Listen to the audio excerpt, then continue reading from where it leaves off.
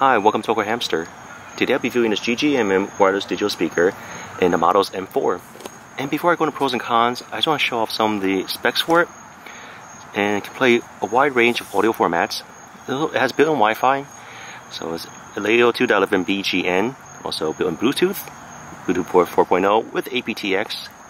It's got a built-in battery that provides at least 10 hours consistently, and total combined power output 40 watts for the speakers.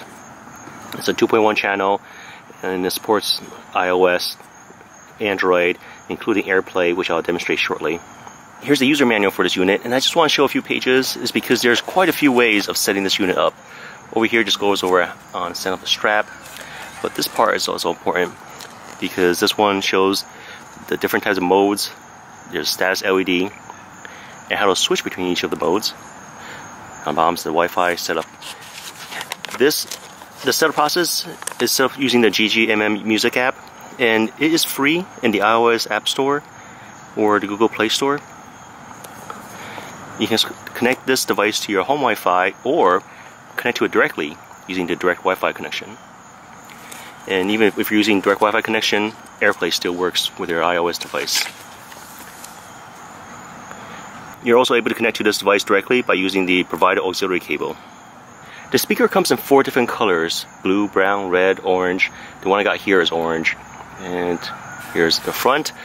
Then we have on top, starting from the right hand side, the power, the mode, the bass. Above the power, mode, and bass, there's an LED indicator. And the LED color also changes for the mode depending on whether you're in auxiliary mode, Wi-Fi, Bluetooth. And these are the volume controls. Side over here, well, this is like a little handle, leather handle that came with it.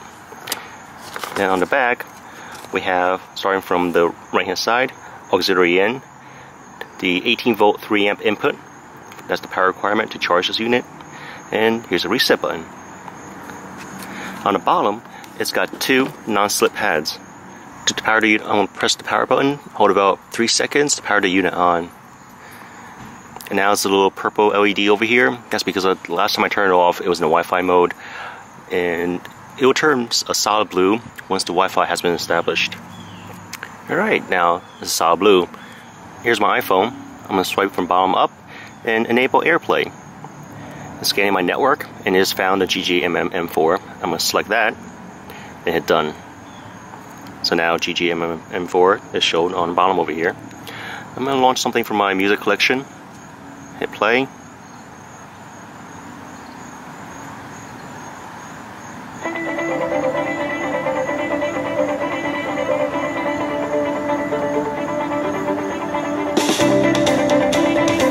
Raise the volume a bit.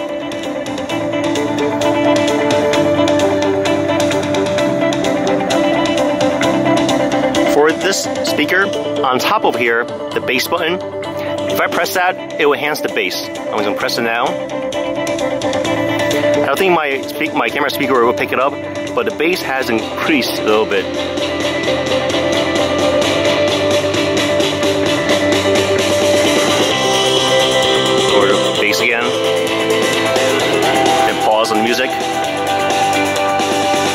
Another benefit is their multi-room music system over Wi-Fi. What that means is that I can connect up to 10 wireless speakers. I can put one in every room in my house and just have them all sync up, play the same music. That's essentially creating my own personal surround sound. Now I don't have more than one GGMM speaker right now, but that does sound very attractive. I'll recommend the speaker for a couple reasons. Great audio quality, very powerful bass. I love the design, solid construction, this, this leather feel to it. There's a couple ways of using it, whether it's Bluetooth, auxiliary, Wi-Fi. It works with my Pandora, my Google Play, any of my streaming apps, and you can also connect multiple speakers to it too to create a surround sound system. So yes, I would recommend this. Well, thanks for watching this review. If you guys have any questions, comments, suggestions, feel free to contact me. Thanks for watching Awkward Hamster.